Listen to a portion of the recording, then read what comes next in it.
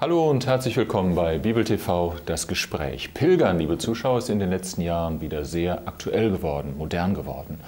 Ob nach Kevela, nach Trier, nach Rom oder sonst wohin. Menschen machen sich auf, gehen zu Fuß oder fahren mit dem Auto, fliegen dorthin und gehen einige Schritte oder fahren oder mit dem Fahrrad. Wie auch immer bewegen sie sich zu einigen Pilgerorten. Unser heutiger Gast hat sich einem Weg und einem Ziel besonders verschrieben und das ist der Jakobsweg nach Santiago de Compostela in Spanien. Über seine Erfahrung mit den Pilgern wird uns heute berichten. Herzlich willkommen bei uns im Studio, Raimund Jost. Grüß Gott. Grüß Sie, ja, grüß Gott, da hört man gleich, wo Sie her sind, aus Bayern. Da ist der Weg noch weiter nach Santiago de Compostela. Ja, wie sind Sie nun ausgerechnet daran gekommen? Was macht für Sie Compostela, Santiago de Compostela und der Jakobsweg denn so wichtig? Ja, wie bin ich draufgekommen? Ich bin eigentlich zufällig draufgekommen, wie die meisten eigentlich. Äh, ich habe einfach irgendwie den Traum in mir gespürt. Das war 92 da hatte ich irgendwie Zeit geschenkt bekommen, hatte einfach irgendwie ein Praktikum ist ausgefallen oder sowas, dass ich irgendwas machen wollte. Und da habe ich dann gesagt, okay, ich möchte eigentlich laufen. Ich möchte laufen, Sonne und einfach nur laufen. Und da hat ein Freund mir gesagt, es gibt den Jakobsweg, mach doch den. Da habe ich gesagt, ja genau, das ist eigentlich genau das, was ich, was ich suche. Und da bin ich dann einfach losgezogen, habe äh, den gemacht das erste Mal. Und ja, was er für mich bedeutet, also er hat jedes Mal was für mich was Neues bedeutet. Ja, also Manchmal habe ich den Glauben gesucht, vor allem. Manchmal war es für mich ein kulturelles Erlebnis, manchmal ein soziales. Ja. Und es hatte immer eine ganz andere Bedeutung. Jedes Mal, wenn ich gelaufen bin, hatte ich eine neue Erfahrung. Also es war nicht nur jeden Tag eine neue Erfahrung auf dem Jakobsweg, sondern auch jedes Mal, wenn ich den Jakobsweg neu gemacht habe, war das eine neue Erfahrung für mich. Das schauen wir gleich mal ein bisschen genauer an, aber erstmal, vielleicht weiß gar nicht jeder Zuschauer, was nun erstens der Jakobsweg ist, warum der nun auch so heißt mhm. und was der nun Santiago de Compostela als Name und als Stadt äh, auf sich hat.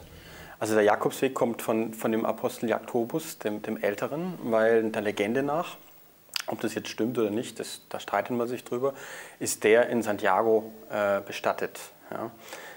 Ähm, und weil es nach Santiago de Compostela geht, heißt es der Jakobsweg. Ja. Ähm, was ist der Jakobsweg aber im Inneren? Das ist, ich würde sagen, eine, auch eine Einstellung, eine Art, wie man, die, wie man die Welt sieht.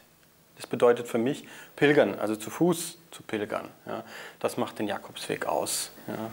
Wie ist es eigentlich dazu gekommen, dass es nun diesen Weg gibt und dass Leute da nun auch hinlaufen? Hinlaufen, ja. Ähm, ja, also ist, die Wurzeln von dem Jakobsweg sind also auch umstritten. Es gibt verschiedene Ideologien, verschiedene Glauben, die auch sagen, der Weg hat da seinen Ursprung. Es gibt welche, die sagen, es ist ein alter keltischer Weg und die Leute sind schon immer gegen Westen gelaufen, der Sonne nach, let's go west, also dem Licht nachzufolgen. Und das wäre dann früher, hätte dann dazu geführt, dass die Leute dann irgendwo nach Finisterre, also zum Ende der Welt gekommen sind, wo man geglaubt hat, das Ende der Welt. Die christliche Tradition ist die, dass man sagt, okay, der ist da beerdigt, der, der Jakobus, und ähm, man, man geht dahin, um da einfach ihn zu verehren. Indem man einfach sich im Ort nähert, der heilig ist, wo, wo ein Heiliger ist, versucht man sich selbst auch heilig, heiliger zu werden, heiler zu werden. Ja? Mhm. Und deswegen tut man sich symbolisch auf diesen, diesen heiligen Ort praktisch äh, bewegen und versucht auch ein bisschen Schritte auf das Heil hinzuzumachen. Mhm. Ja? Und äh, weil irgendwann mal im Mittelalter der Weg nach ähm, äh, Rom und nicht nach Rom, aber nach Jerusalem blockiert war, hat man sich ein anderes Ziel gesucht und das wurde Santiago. Und deswegen ist dann Santiago immer wieder, wieder aufgelebt, ist dann irgendwann mal ein bisschen untergegangen, diese Pilgerreise. Also als zum Beispiel äh, der, der Weg blockiert war in Frankreich oder Franco hat es auch teilweise auch schwieriger gemacht. Aber seit einigen Jahren ist er am Boomen. Und weil der Mensch da Antworten findet, der Moderne, die auf seine modernen also Fragen, glaube ich, sehr gute Antworten geben, äh, läuft mir diesen Weg in letzter Zeit immer wieder öfters. Ja. Ähm, das heißt, aus ganz Europa sind Leute dorthin gepilgert und diesen Jakobsweg, das ist dann nicht nur ein Jakobsweg. Mhm. Also die meisten Leute, die vom Jakobsweg sprechen, die meinen eigentlich den Camino Frances. Das ist also auch, wo Kerkeling gelaufen ist, wo es die meisten Bücher gibt. Es also gibt der französische Weg. Genau, nein, nicht der französische. Der heißt der Camino Frances, heißt der Weg der Franzosen. Das heißt, der okay. kommt von den Pyrenäen und geht nach also Nordspanien nach Santiago de Compostela. Okay. Ja. Es gibt aber auch andere Strecken, zum Beispiel der Camino, äh, die Via de la Plata. Das ist ein alter Römerweg. Da hatte ich dann dieses Buch drüber geschrieben, äh, ein Führer über, über den Camino Via de la Plata. Es gibt eine Route, die von Portugal kommt, also über, von Lissabon über Porto. Es gibt eine vom Norden und es gibt ein ganzes Netz an Straßen, also zum Beispiel in, in Frankreich von Le Puy, sehr bekannt, ja, oder äh, in, in Deutschland auch. Interessanterweise läuft der Jakobsweg, den haben sie jetzt neu, auf, also neu ausgezeichnet in meiner Stadt in Eichstätt. Mhm. Der läuft praktisch 200 Meter an meinem Haus vorbei, durch meine Universität. Die ja. konnten ihn gar nicht verpassen. Ja, ich, war schon eigentlich immer auf dem Jakobsweg, nur wusste ich es nie. Ja. Ja. Ah, ich habe das dann erst mhm. wieder gemerkt, als, ich, als die ausgezeichnet worden sind, nachdem es also in den letzten Jahren so populär geworden ist. Mhm. Also Jakobsweg beginnt eigentlich da, wo ein Mensch losläuft in Richtung Santiago. Wie oft sind Sie denn losgelaufen? Oh je, ich kann es fast gar nicht mehr zählen. Also ich habe angefangen 92 und bin seitdem, ich glaube, vier, fünf Mal gelaufen. Das meiste Mal auf dem Hauptweg, aber auch den Camino Via de la Plata und den Camino Portugues und dann den französischen. Insgesamt vier Mal bin ich gelaufen. Insgesamt bin ich so, oder fünf Mal und habe etwa so 5000 Kilometer hinter mich gebracht im Großen und Ganzen. Meistens zu Fuß. Also es ist schon so eine Art Leidenschaft geworden. Ja, also man kann fast behaupten, es ist eine kleine Sucht. Ja. Ähm, Sie haben eben schon mal kurz angefangen zu erzählen, wie es denn da überhaupt dazu gekommen ist. Sie hatten plötzlich einfach Zeit, mhm. damals, 92 oder wann auch immer ja. das genau war. Und äh, Sie haben das Gefühl gehabt, wenn ich es richtig verstanden habe, sich mal bewegen zu müssen, irgendwo ja. unterwegs zu sein. Was steckte denn dahinter? Was, was heißt es denn, sich bewegen zu müssen? Was haben Sie gesucht? Ist Ihnen das klar ja. geworden? Also ich weiß nicht, das ist interessant. Die, die Leute, die haben das Gefühl, dass der Weg sie ruft. Ja? Es ist, ähm, also wenn man sich mal anschaut, der ganze Körper, nicht der ganze Körper, bis zur Hälfte, bis zur Hüfte sind alles Beine. Der Mensch ist eigentlich gewohnt zu laufen. Das macht seine Erfahrung aus, zu laufen. Also wir haben so viele Wörter in der, in der Sprache, die mit Laufen zu tun haben. Es geht bergauf, es geht bergab. Man geht einer Frage nach. Und all das zeigt eigentlich, wie tief dieses Laufen, diese Erfahrung des Laufens in einem drin ist. Ja? Mhm. Und was, was, was war das? Ich hatte einfach dieses, diesen tiefen Wunsch zu gehen. Und äh, wenn man also geht, dann äh, öffnen sich wieder auch die Augen. Man macht so Erfahrungen wie ein Kind. Man sieht, man sieht die Welt, man, man nimmt plötzlich wahr, was um einen herum ist. Ja? Und dann öffnet sich auch der Geist. Ja? Und ähm, ja, man geht dann durch die Welt mit offenen Augen und wandelt sich auch selbst persönlich und wandelt sein Glauben, auch seine Spiritualität. Ja. Das heißt, so haben Sie es vermutlich erlebt, sonst könnten Sie es nicht so erzählen. Äh, also bei dem ersten mhm. Mal, wie Sie da gegangen sind, wenn ich es mhm. richtig verstehe. Ja, haben Sie plötzlich die Dinge ganz anders gesehen? Oder? Ja, nee, es, es war, ich habe ja, ich habe die Dinge anders gesehen. Ich, ich habe sie, plötzlich war ich in Spanien. Ja. Ich habe ich hab äh, die Welt anders wahrgenommen, ich habe mich anders wahrgenommen, denn wenn man die Welt anders sieht und wenn man andere Leute trifft und wenn man in andere Situationen kommt, erlebt man sich selbst auch anders, mhm. öffnet man seinen Blick. Ja. Aber diese Erfahrungen und wie ich das jetzt erkläre, das ist, das ist nach und nach gekommen. Mhm. Ja. Das ist, äh, manche sagen, der Jakobsweg beginnt in Santiago. Das heißt, wenn man diese Erfahrung auf dem Weg gemacht hat, muss man darüber nachdenken, muss man überlegen, was bedeutet das für mein inneres, eigenes, tägliches Leben. Und dann äh, tut man diese Erfahrung, wird erst wirklich sichtbar in, in, solchen Formulierungen, wie ich sie jetzt zum Beispiel gebrauche. Ja. Nochmal, wie geht das denn konkret? Also Sie haben jetzt gesagt, man läuft. Aha. Okay, ist dieser Weg irgendwie ausgezeichnet? Ja. Ähm, wo kommt man denn da unter? Wen trifft man denn da? Was haben Sie denn da so alles erlebt? Was ich erlebt habe, mein Gott, jede Menge. Also ich habe ich hab, äh, Menschen, ich bin Menschen begegnet. Ich habe, ich hab, äh, was ist eine Begegnung? Also wenn, wenn ich auf jemanden treffe auf der Straße, ja, dann bin ich dem nicht begegnet. Ich habe den vielleicht gar nicht wahrgenommen. Wenn ich jemanden begegne, dann nehme ich Anteil an dem. Ich, ich, äh, ich, ich sehe ihn, ich versuche mich ihn zu verstehen, was er denkt, was er fühlt. Ja. Menschen bin ich begegnet. Ich bin Kultur begegnet, ja, der Kultur mhm. der Spanier. Ich habe meine Zeit anders wahrgenommen. Äh, also man kann Zeit verschieden wahrnehmen. Ich, ich habe äh, vielleicht die Geschichte auch anders wahrgenommen. Ja. Ich, Aber wieso plötzlich da? Also ich meine, auf dem äh, Jakobsweg. Hm, warum ja. haben Sie plötzlich die Zeit anders wahrgenommen? Was war der Unterschied? Also ich denke, man geht auf den Jakobsweg anders, als wenn man normal läuft. Also man kann, man, man erlebt Einfachheit. Also wenn ich nur noch einen Rucksack habe, wenn ich meinen Alltag hinter mir lasse, wenn ich die Dinge, die ich sonst, die mein Leben schwer machen im wahrsten Sinne, zu Hause lasse und nur noch mich reduziere auf das Wenigste, dann nehme ich Dinge plötzlich klarer wahr. Ich nehme die Struktur einfach klarer wahr, wenn ich weniger Dinge habe.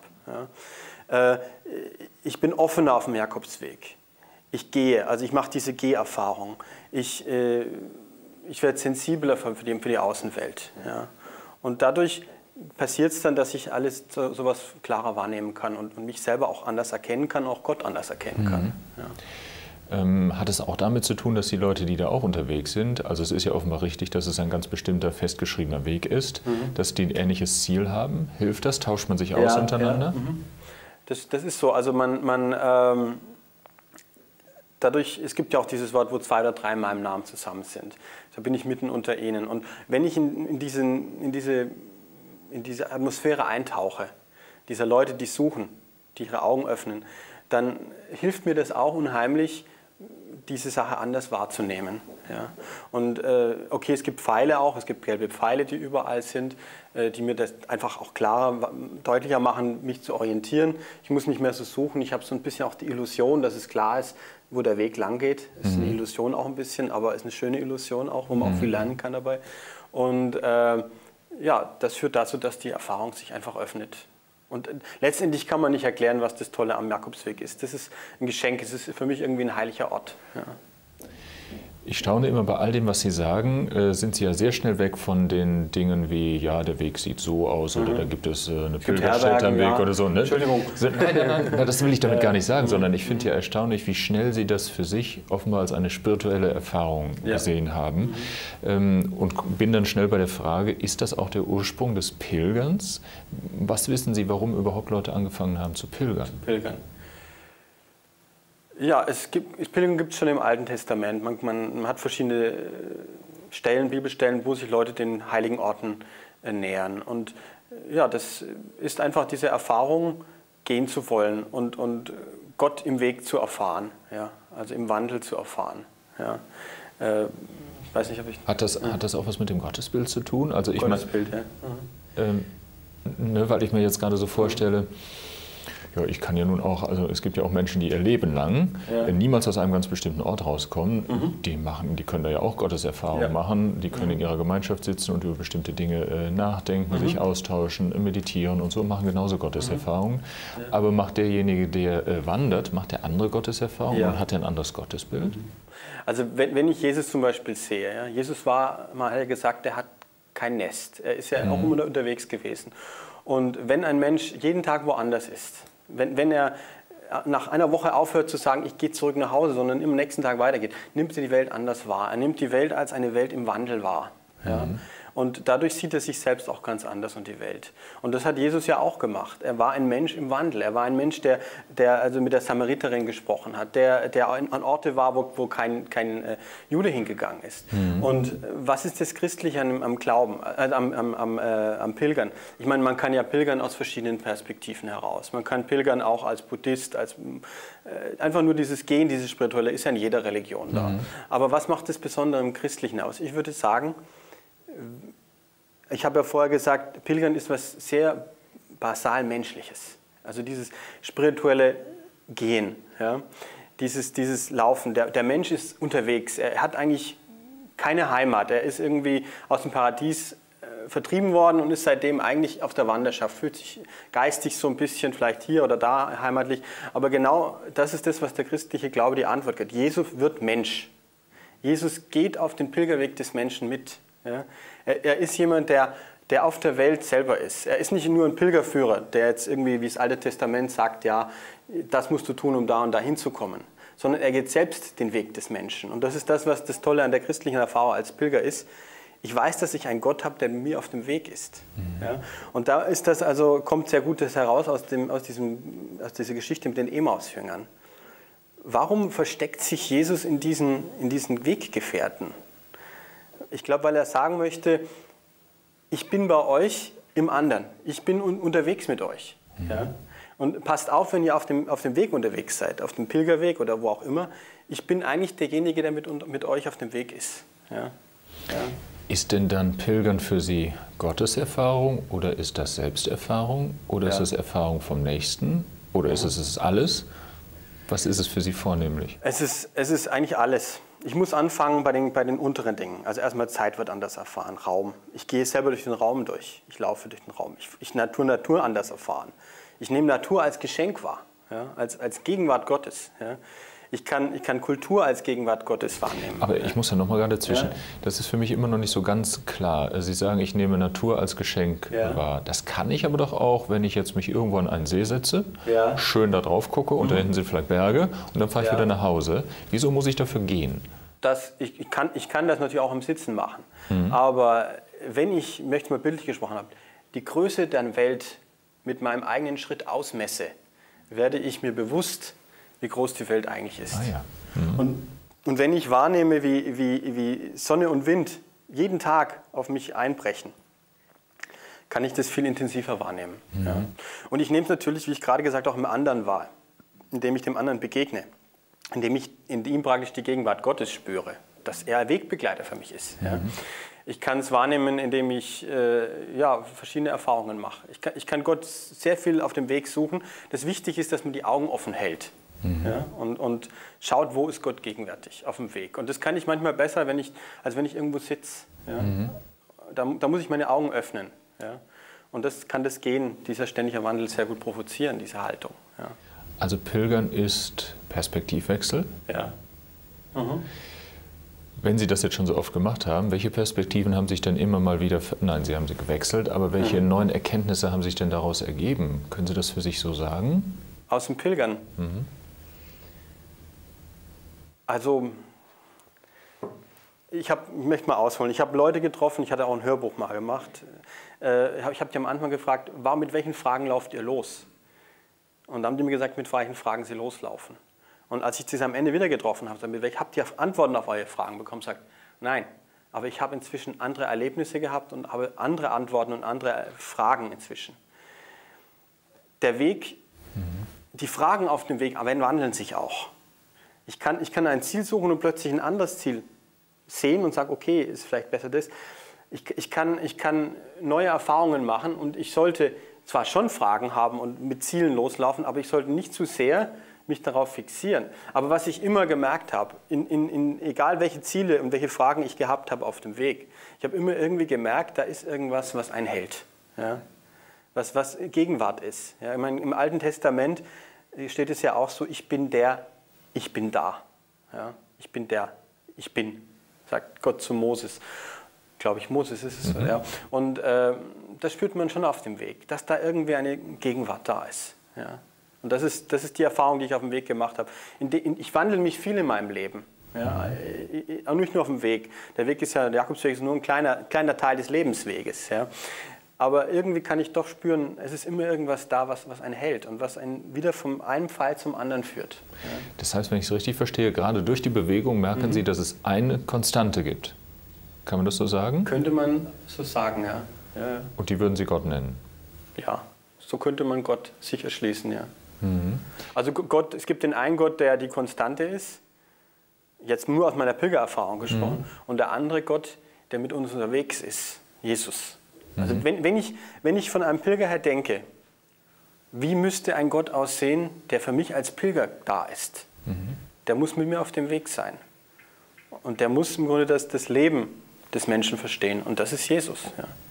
Also jemand, der konstant mit auf dem Weg ist. Ja. Sagt man beides zusammen. Das ist ja eigentlich. die hm. Dreifaltigkeit, dass Gott immer schon da ist, ja. dass er Gott Mensch ist ja, und dass er Geist ist. Und mhm. dieser Geist, der ist auch zwischen den Pilgern zu spüren.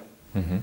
Also in der Kreativität auch, wenn, wenn ich was entdecke auf dem Weg, dann, dann ist da auch Geist gegenwärtig. Ja. Mhm. Ähm, ist der Glaube Grundgelegt wurde er ja vermutlich schon, bevor Sie äh, sich auf den Weg gemacht haben. Ähm, hat sich denn daran jetzt was verändert? Ich weiß nicht, wie Sie groß geworden sind, was da schon. Ähm An meinem Glauben. Ähm, ja, doch. Also ich. Man wird sensibler, sensibler auch, was der Glaube vor allem für eine Bedeutung hat. Ich möchte mal ein Beispiel bringen. Wenn ich über den Jakobsweg laufe und ich sehe lange Zeit nichts und irgendwann sehe ich eine Kirche, einen Kirchturm, dann kann ich sagen, hoppla, Moment, da ist der Kirchturm, da muss die nächste Kirche sein und in der Nähe der Kirche ist vielleicht die Herberge. Und wenn ich dann in diese Herberge, in diese Kirche komme und dort Ruhe finde und dann in der Herberge mein Haupt auf, mein, auf ein Bett, auf ein simples Bett legen kann, dann kann ich für mich erschließen, was Kirche für mich sein kann. Nämlich sein kann, nicht muss. Ja? Ort der Orientierung und der Zuflucht. Und dann frage ich mich, was bedeutet der Glaube für mich? Mhm. Ja. Ist das, kann das für mich Zuflucht sein? Wo kann ich meine Zuflucht finden? Mhm. Ja. Also ich kann meinen Glauben auch deutlicher, auch kritischer vielleicht wahrnehmen, wo ich frage, wer kann Leute schlechte Wege führen? Gibt es zum Beispiel Leute, die behaupten, die kennen einen Weg, den, den sie überhaupt gar nicht kennen mhm. die, oder gegangen sind? Das sind dann die sogenannten Pharisäer, die Jesus nennt. Ja? Mhm. Und diese ganzen Erfahrungen in ihrer Einfachheit, die ich in, auf dem Weg machen kann, die kann ich versuchen, in mein Glaubensleben auch zu übersetzen. Mhm. Ja? Und meinen Glauben einfach auch dann reifen zu lassen. Ja? Und das geht sehr langsam vor sich. Aber die meisten Leute, die sagen doch, es geht vor sich. Also wenn, wenn man sich wirklich darauf einlässt, auf diese Erfahrung des Jakobsweges, dann, dann geht man da auch Schritt für Schritt in seinem Glaubensweg weiter. Mhm. Ja. Das heißt, der Weg ist für Sie eigentlich so ein Synonym für Leben. Ja. Mhm. Ähm, und äh, deswegen ist es nicht unbedingt, wenn Sie einmal den Weg gegangen sind, gehen Sie jetzt nicht hin und sagen, ich habe jetzt das Ziel mhm. und wenn ich das gemacht habe, habe ich das und das erreicht. So eher nicht. Ja, nee, das, also, es ist schon gut, Ziele zu haben. Ja. Aber ich möchte mal bildlich gesprochen haben, es ist, ich spreche, spreche im Sinne des Pilgerns. Es hat keinen Sinn, mit Konsequenz wochenlang einem falschen Ziel nachzulaufen, mhm. sondern es ist immer wieder notwendig, sich neu zu orientieren. Mhm. Und ein Ziel, letztendlich steuere ich ja auch nicht ein Ziel an, sondern das, was ich von einem Ziel erwarte. Mhm. Ja, also es kann ja sein, dass ich ein Ziel erreiche und merke, hoppla, das ist ja nicht das Ziel, das ich gehabt habe. Mhm. Ich wollte eigentlich spontaner leben, ich wollte glücklicher sein und das finde ich auf diesem Ziel nicht ich muss ein anderes Ziel suchen. Ja? Mhm. Also die Frage war, glaube ich, beantwortet. Oder? Ja, ja. Entschuldigung. Ja. Wenn Sie jetzt, also vielleicht haben Sie ja Leute jetzt neugierig gemacht, darauf mhm. mal diesen Weg zu gehen oder wegen mir auch jemand also einen anderen Weg. Es muss ja, nicht unbedingt der Jakobusweg sein. Mhm. Ähm, was würden Sie denn sagen, sollte jemand mitnehmen? Also innerlich, aber auch äußerlich. äußerlich was soll man in den Rucksack innerlich. packen? Also in meinen, seinen Rucksack packen, da habe ich ja gerade ein Buch rausgegeben. Das ist über den Jakobsweg. Das ist das Pilgern auf den Jakobswegen. Das habe ich geschrieben im großen Eifer. Natürlich kann man auch Führer mitnehmen für Nebenwege oder, oder Hauptwege. Die habe ich auch geschrieben für zwei, also für den Camino. Das heißt, Sie haben etwas geschrieben, was man da reinnehmen konnte, wo sowieso alles schon drinsteht, was man in den Rucksack tun könnte? Genau, was, was kann ich im Rucksack nehmen? Laufe ich alleine, laufe ich zusammen? Das sind so Fragen, was nehme ich in den Rucksack? Und ich denke, der Rucksack mhm. müsste möglichst leicht sein, ja. weil es sonst einem das Leben schwer macht und das Leben auch komplizierter macht. Ja? Mhm. Okay, aber das sind so Detailfragen, die, die, kann ich mir jetzt nicht verlieren. Aber was nehme ich in, mein, in meinen spirituellen Rucksack rein? Mhm. Ich hatte schon gesagt, es gibt schon, ist schon wichtig, Ziele zu haben. Ja? Mhm. Man sollte aber diesen Rucksack auch nicht zu, zu, zu, zu arg schnüren. Mhm. Man soll auch überlegen, ob man seine Ziele vielleicht ändern kann. Okay, äh, was brauche ich auch auf dem Weg? Das ist, sind bestimmte Grundhaltungen. Das ist wie ich gesagt habe, die Offenheit, mhm. die Einfachheit, mhm. dann äh, der Wandel. Also wenn, wenn, ich, wenn, ich äh, der Welt, wenn ich durch die Welt gehe, wenn ich wirklich laufe, dann erfahre ich oder erlebe ich die Welt. Das mhm. heißt, ich erlebe. Ich nehme so teil an der Welt, dass es ein Teil meines Lebens wird. Ich mhm. erlebe etwas. Ja.